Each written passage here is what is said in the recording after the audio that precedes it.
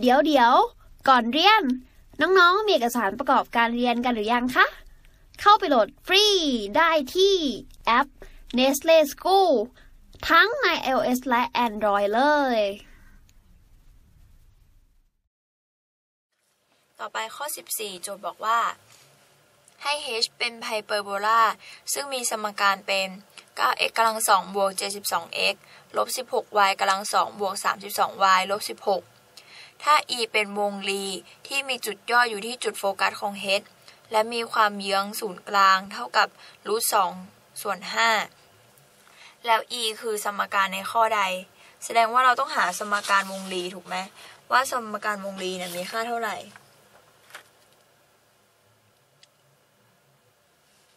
อย่างแรกที่น้องต้องรู้ในข้อนี้นะก็คือ สมการไฮเปอร์โบลา เดี๋ยวพี่จะอธิบายให้ก็คือไฮเปอร์โบลาเนี่ย จะมีลักษณะสมการเนี่ย คล้ายกับของวงรีไฮเปอร์โบลานะ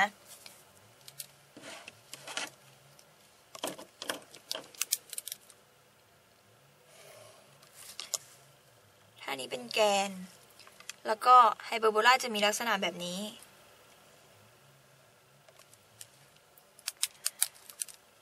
ท่านี้ คือจุดศูนย์ศูนย์อันนี้คือจุดย่อถูกไหมจุด A ศูนย์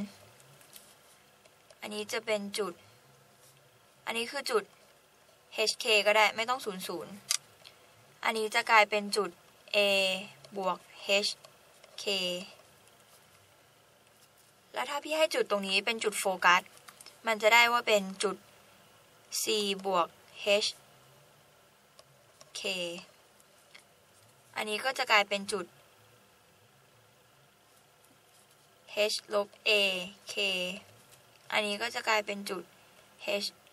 ลบ C K อันนี้เขาเรียกว่าไฮเปอร์โบลาขนาดแกน x เราจะได้ว่าสมการของไฮเปอร์โบลาเนี่ยคือ x ลบ h กำลังสองส่วน a กำลังสองลบ y ลบ k ทั้งหมดยกกำลังสอง ส่วนด้วย b กำลังสองมีค่าเท่ากับ 1 ซึ่งเราจะดูว่าสมการไฮเปอร์โบลาเนี่ย มันขนาดแกน x หรือขนาดแกน y เราจะดูที่ตัว a กำลังสองว่า เอ่อ หน้าอะไรเป็น หน้าอะไรเป็นบวก ถ้าอย่างอันนี้เนี่ย มันเป็นสมการที่ขนาดแกน x ถูกไหม ซึ่งมันจะได้ว่า เออหน้าแกน x เนี่ย เป็นบวก แต่ว่าเป็นลบที่หน้าแกน y หน้า y แสดงว่าสมการนี้ขนาดแกน x แล้วก็จะได้ว่า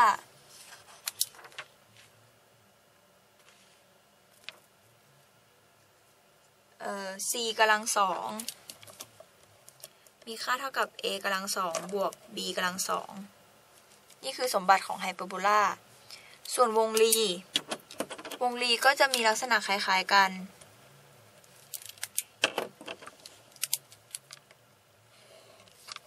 คือแกนถูกไหมวงรี ที่อาจจะวาดรูปไม่ค่อยสวยเท่าไหร่นะ นี่คือวงรี อันนี้คือจุดศูนย์กลาง HK อันนี้จะกลายเป็นจุด H บวก A K จุดยอด อันนี้จะกลายเป็น H กับ K บวก B อันนี้คือจุดศูนย์กลาง เอ้จุดโฟกัส คือ H บวก C K อันนี้คือขนาดแกน x ถ้าขนาดแกน y มันก็จะเป็นแบบแนวตั้งขึ้นมา อย่างเงี้ย เป็นแนวตั้งขึ้นมา ซึ่งเราจะได้ว่าสูตรของมันก็คือ x บวก x ลบ h ทั้งหมดยกกำลังสอง ส่วนด้วย a กำลังสองบวกกับ y ลบ k ทั้งหมดยกกำลังสอง ส่วน b กำลังสอง มีค่าเท่ากับ 1 เมื่อ a กำลังสองเท่ากับ b กำลังสองบวก c กำลังสอง มันจะต่างกันตรงที่เป็นเครื่องหมายลบกับเครื่องหมายบวก อันนี้พี่สอนแค่แกน x นะ ถ้าแบบขนาดแกน y ก็จะเป็นอีกรูปแบบหนึ่งแต่ว่าคล้ายกัน แค่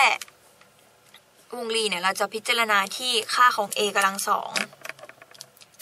พิจารณาที่ค่ามากกว่า ถ้าค่ามากกว่าเนี่ยอยู่เออเป็นตัวส่วนของ x หรือเป็นตัวส่วนของ y เนี่ยก็แสดงว่าขนาดแกนนั้น อย่างอันเนี้ย a กำลังสองอะมันเป็นจำนวนที่มากที่สุด ในระหว่าง a b c ถูกไหมเพราะว่าเขากำหนดว่า a กำลังสองเท่ากับ b กำลังสองบวก c กำลังสองแสดงว่า a เนี่ยจะต้องมีค่ามากที่สุด เราก็ดูตัวส่วนข้างล่างว่าเออตัวไหนอะไอตัวค่ามากเนี่ยมันเป็นตัวส่วนของ x หรือเป็นตัวส่วนของ y ส่วนแกนของไฮเปอร์โบลาเนี่ยเราจะดูที่เครื่องหมายว่าเป็นเครื่องหมายลบหรือเครื่องหมายบวก เราก็จะรู้ว่าอันนั้นเนี่ยขนาดแกนอะไร ทีนี้เรามาพิจารณาโจทย์เขาบอกว่า h เป็นไฮเปอร์โบลาซึ่งมีสมการเป็นแบบนี้ เพราะฉะนั้นเราจะจัดรูปสมการแบบนี้ ให้กลายเป็นแบบนี้ ให้เป็นอีกฝั่งหนึ่งเนี่ยมีค่าเท่ากับ 1 ก็จะทำโดย จัดรูปนะ ก็จะกลายเป็นดึง 9 เป็น 9x กำลังสองลบ เราก็พิจารณา x อันนี้เป็น 72x ถูกไหมดึง 9 ออกมาก็จะกลายเป็นลบ 8x ซึ่งจากรูปแบบที่โจทย์ที่เราที่เราต้องการเนี่ย มันต้องการทำให้เป็นรูปกำลังสองถูกปะเพราะฉะนั้นเราก็ต้องทำอันนี้ให้สามารถยกกำลังสองได้ อะไรที่คูณกันสองครั้งเราได้บวกกันสองครั้งเราได้แปดก็คือสี่ถูกปะแสดงว่ากำลังสองของสี่ก็คือสิบหกถูกปะแล้วก็บวกกับ ลบสี่เพราะว่าเราต้องการดึงลบสิบหกออกมาถูกไหมลบสิบหกคูณกับ y กำลังสองสิบหกคูณอะไรได้สะได้สามสิบสองก็คือคูณสองถูกปะแต่เราอย่าลืมว่ามันเป็นเครื่องหมายลบข้างหน้า เพราะฉะนั้นข้างในก็ต้องเป็นลบ เพื่อให้ลบเจอลบกลายเป็นบวกออกมาเหมือนตามที่โจทย์ต้องการ ก็เป็นลบสอง y แล้วก็บวกหนึ่งถูกไหมเพราะว่าเอ่อมันต้องการทำเป็นกำลังสองก็จะได้กลายเป็น 9 คูณกับ x ลบ 4 ทั้งหมดยกกำลังสองลบ 16 คูณกับ y ลบ 1 ทั้งหมดยกกำลังสองทีนี้เราต้องมาพิจารณาต่อว่ามันเหลือเลขอะไรบ้าง อันนี้ 9 คูณ 16 ได้เป็น 144 ถูกไหม แล้วก็ลบกับ 16 คูณ 1 กลายเป็น 16 ลบ 16 ไปแล้ว แต่โจทย์เนี่ยต้องการให้สุดท้ายเนี่ยมันเหลือกลายเป็นลบ 16 ซึ่งเราได้ลบ 16 มาแล้ว เพราะฉะนั้นเราต้องลบออก 144 ถูกไหมเพื่อที่จะทำให้มันกลายเป็นสุดท้ายแล้วกลายเป็นลบ 16 ตามที่โจทย์ต้องการ เราก็ลบ 114 144 เท่ากับ 0 นั่นเอง เราก็ย้ายลบ 144 ไปกลายเป็น 9 คูณกับ x ลบ 4 ทั้งหมดยกกำลัง2ลบ 16 คูณกับ y ลบ 1 ทั้งหมดยกกำลัง2เท่ากับ 144 จากนั้นนำ144หารตลอด ก็จะกลายเป็น9คูณกับ x ลบ4ทั้งหมดยกกำลัง2หารด้วย144ลบกับ16คูณกับ y ลบ1ทั้งหมดยกกำลัง2หารด้วย144มีค่าเท่ากับ1เราได้แล้วว่าฝั่งนี้เป็น1ตามรูปแบบที่เราต้องการถูกไหม เราก็ตัดเลขกลายเป็น x ลบ4ทั้งหมดยกกำลัง2ส่วนด้วย 144 หารด้วย9ก็คือ 16 ถูกไหม ลบกับ 10 ลบกับ y ลบ 1 ทั้งหมดยกกำลัง2ส่วน 9 มีค่าเท่ากับ 1 นี่คือสมการไฮเปอร์โบลาที่เราได้มาแล้วเราได้สมการไฮเปอร์โบลามาแล้ว ซึ่งถ้าเทียบกับสมการแล้วเนี่ย เทียบกับสมการที่เราได้ที่เราต้องการเนี่ย จะได้ว่า a กำลังสองมีค่าเท่ากับ 16 b กำลังสองมีค่าเท่ากับ 9 ถูกไหม เทียบสมการนะ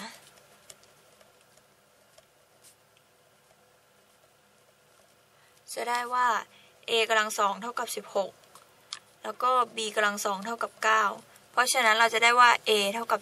4 แล้วก็ b เท่ากับ 3 นั่นเอง จากนั้นสิ่งที่โจทย์เขาบอกต่อคืออะไร เขาบอกว่าถ้า e เป็นวงรีที่มีจุดย่ออยู่ที่จุดโฟกัสของ h เพราะฉะนั้นเราต้องหาจุดโฟกัสของ h ก่อนถูกปะว่าจุดโฟกัสของ h เนี่ยคืออะไร ซึ่งเราจะหาจุดโฟกัสได้เนี่ย เราก็ต้องรู้ค่า c ถูกไหม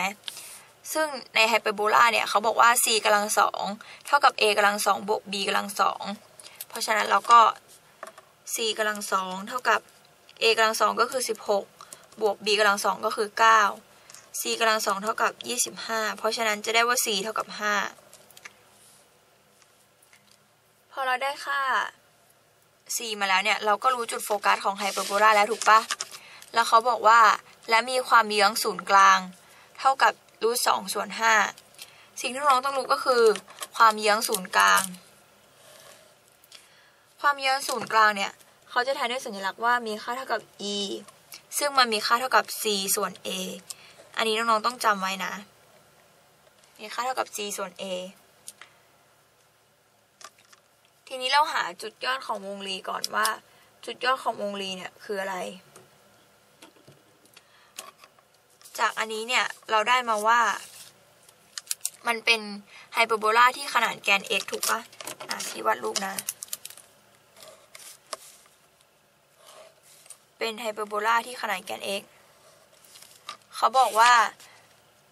e เป็นวงรีที่มีจุดยอดอยู่เป็นจุดอยู่ที่จุดโฟกัสของ h อันนี้คือจุดโฟกัส จุดโฟกัสถูกปะซึ่งเราได้ว่าจุดตรงนี้เนี่ย จุดศูนย์กลางเนี่ยมีค่าเท่ากับ คือจุด 41 ถูกไหม ตามโจทย์ที่ให้มา hk 41 ต้องการหาจุดโฟกัสก็คือ เรารู้ค่า c แล้วก็จะได้กลายเป็นจุด 91 แล้วก็จุดลบ1 1 ถูกปะซึ่งจุดยอดเขาบอกว่าจุดยอดอยู่ที่จุดโฟกัสเราก็จะได้รูปวงรีเป็นแบบนี้นั่นเอง นี่คือรูปวงรีที่เราได้ ทีนี้เราก็ต้องสร้างตั้งสมการวงรีก่อนว่า สมการวงรีเนี่ยได้ว่าอะไรบ้าง เราก็ทำตามที่อันนี้บอกเลย ก็จะได้ว่า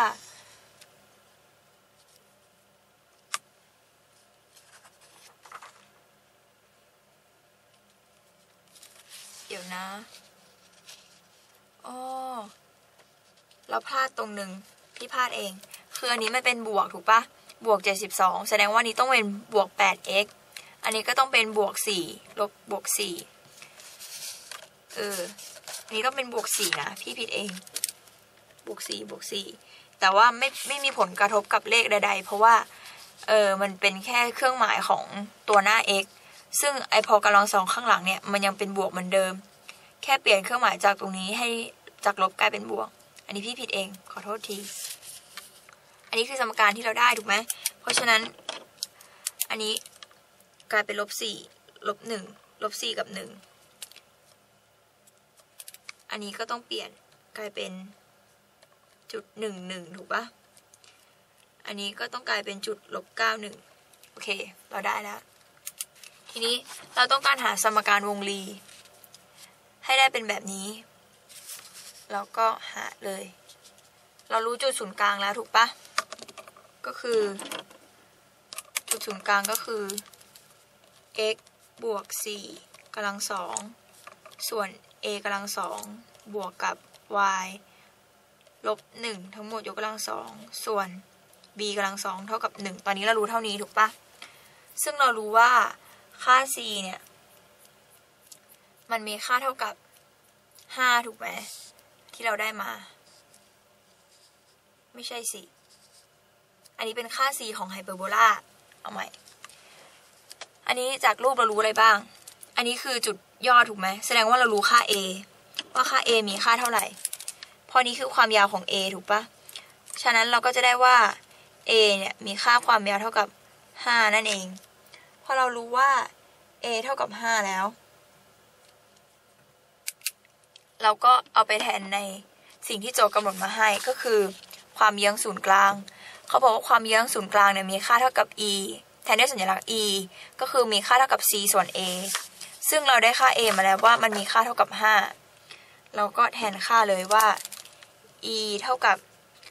c ส่วน a เท่ากับโจทย์คำนวณมาให้เป็นรูทสองส่วน5ถูกปะซึ่งเราได้ว่าค่า a เนี่ยมันมีค่าเท่ากับ 5 ก็จะกลายเป็น c ส่วน a เท่ากับ รูทสองส่วน5 a มีค่าเท่ากับ 5 ก็จะกลายเป็น c ส่วน 5 มีค่าเท่ากับรูทสองส่วน5ยกกำลังสองทั้งสองข้างกลายเป็น c กำลังสองส่วน 25 เท่ากับ 2 ส่วน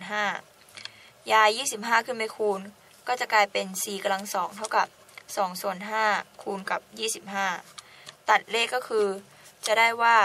c กำลังสองมีค่าเท่ากับ 10 นั่นเอง พอเราได้ c กำลังสองมีค่าเท่ากับ 10 แล้ว เราก็เอาไปแทนต่อ เพราะสิ่งที่โจทย์ต้องการเนี่ย คือสมการถูกปะเรายังไม่รู้ค่า b เลยถูกไหม เพราะว่าตัวส่วนข้างล่างเนี่ย มันจะต้องเป็นค่า a กับค่า b ซึ่งเรารู้ค่า a มาแล้วว่ามันมีค่าเท่ากับ 5 ส่วนค่า c c กำลังสองก็คือ 10 ถูกปะเราก็เอาไปแทนเลย ซึ่งจากสมจากอันเนี้ยเราจะได้ว่า จาก a กำลังสองเท่ากับ b กำลังสองบวก c กำลังสองซึ่งเราได้ว่า a คือ 5 แล้วก็ c กำลังสองเท่ากับ 10 ที่พี่ไม่ถอดรูทเพราะว่ายังไงเราก็ต้องใช้เป็นกำลังสองนะ ก็จะได้ว่า 25 มีค่าเท่ากับ b กำลังสองบวก 10 เราก็เลยได้ว่า b กำลังสองเนี่ยมีค่าเท่ากับ 15 นั่นเอง ทีนี้เราก็เทียบกับสมการว่าเราได้อะไรแล้วบ้าง ตอนนี้เราได้ค่า a มาแล้วว่า a มีค่าเท่ากับ 5 เพราะฉะนั้น a กำลังสองก็คือ 25 แล้วเราก็ได้ค่า b กำลังสองมาแล้วก็คือ 15 เพราะฉะนั้นเราก็ได้สมการแล้ว ตามที่โจทย์ต้องการเลยว่า สมการวงรี ก็คือ x บวก 4 ทั้งหมดยกกำลังสอง หารด้วย a กำลังสองก็คือ 25 บวกกับ y ลบ1ทั้งหมดยกกำลังสองส่วน b กำลังสองซึ่ง b กำลังสองก็คือ 15 ให้มีค่าเท่ากับ 1 นั่นเอง เพราะฉะนั้นคำตอบในข้อนี้ก็คือ สมการวงรีเท่ากับ x บวก 4 ทั้งหมดยกกำลังสองส่วน 25 บวกด้วย y ลบ1กำลังสองส่วนด้วย 15 เราก็มาดูเท่ากับ 1 ก็ดูว่าตรงกับช้อยข้อไหน ซึ่งเราได้ว่ามันตรงกับชอยข้อ 3 นั่นเอง เพราะฉะนั้นคำตอบในข้อนี้ก็คือข้อ 3 อีกทีหนึงนะ ข้อนี้ค่อนข้างเยอะ ก็คือ สิ่งที่น้องต้องรู้เนี่ยก็คือการจัดรูปของสมการไฮเปอร์โบลาแล้วก็สมการวงรี ซึ่งมันจะแตกต่างกันในเครื่องหมายแล้วก็การใช้ a b c เมื่อ a อะคือจุดยอด b คืออ เป็นค่าของแกนแบบขึ้นไป แล้วก็ c เนี่ย คือจุดจุดโฟกัส เราก็จะได้ว่าถ้าเป็นไฮเปอร์โบลาเนี่ย c กำลังสองจะเท่ากับ a กำลังสองบวก b กำลังสองแต่ถ้าเป็นวงรีจะเท่ากับจะกลายเป็น a กำลังสองเท่ากับ b กำลังสองบวก c กำลังสองเราก็ต้องจัดรูปของสมการไฮเปอร์โบลาที่โจทย์กำหนดมาให้เนี่ย ให้ได้ตามที่แบบเราต้องการแบบนี้ เราก็จะได้การจัดรูปจากสมการไฮเปอร์โบลาว่าเป็นแบบนี้ ซึ่งโจทย์บอกว่าจุดยอดของวงรีเนี่ย คือจุดโฟกัสของไฮเปอร์โบลาถูกปะถ้าวาดรูปมันก็จะเป็นทำนองแบบนี้ ซึ่งเราได้ว่าค่า c เนี่ย ของไฮเปอร์โบลาเนี่ย มันคือ 5 โดยค่า c ก็คือค่าจุดโฟกัสของไฮเปอร์โบลาเนี่ย มันจะกลายมาเป็นความยาวของค่า a ในวงรี ก็คือเราจะสามารถหาจุดยอดได้ โดยจุดศูนย์กลางเนี่ย มันก็คือจุดเดียวกันถูกปะ เพราะว่ามันเป็นจุดกึ่งกลาง เราก็ต้องหาค่า a กับค่า b ก่อน ซึ่งเราได้มาแล้วว่า a เนี่ยมีค่าเท่ากับ 5 แล้วโจทย์ก็กำหนดมาว่า ความเยื้องศูนย์กลางอะมีค่าเท่ากับรูทสองส่วนห้าซึ่งความเยื้องศูนย์กลางเราแทนด้วยสัญลักษณ์ e มีค่าเท่ากับ c ส่วน a เรารู้ค่า a แล้ว เราก็แทนค่าลงไป ก็จะได้ว่า c กำลังสองเนี่ยมีค่าเท่ากับ 10 แล้วจากวงรีเนี่ยเราจะได้ว่า a กำลังสองบวก b เท่ากับ b กำลังสองบวก c กำลังสอง เราได้ค่า a แล้ว รู้ค่า c กำลังสองแล้ว เราก็แยกสมการได้มาว่าค่า b กำลังสองเนี่ยมีค่าเท่ากับ 15 เพราะฉะนั้นเราก็ไปแทนในสมการแบบที่เราต้องการ สมการของวงรีแบบที่เราต้องการแบบนี้ ก็จะได้ว่าสมการวงรีก็คือ x บวก 4 ทั้งหมดยกกำลังสองส่วน 25 บวก y ลบ1กำลังสองส่วน 15 มีค่าเท่ากับ 1 ซึ่งตรงกับช้อยข้อ 3 นั่นเอง เพราะฉะนั้นคำตอบในข้อนี้ก็คือข้อ 3 ค่ะ เรียนจบแล้ว อย่าลืม เข้าไปฝึกทำข้อสอบแบบจับเวลา ในแอป Nestle School กันด้วยนะจ๊ะ ถ้าน้องๆมีคำถามสงสัย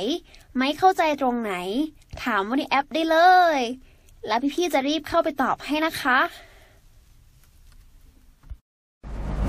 ดูจนจบเลยคิดถึงกันใช่ไหม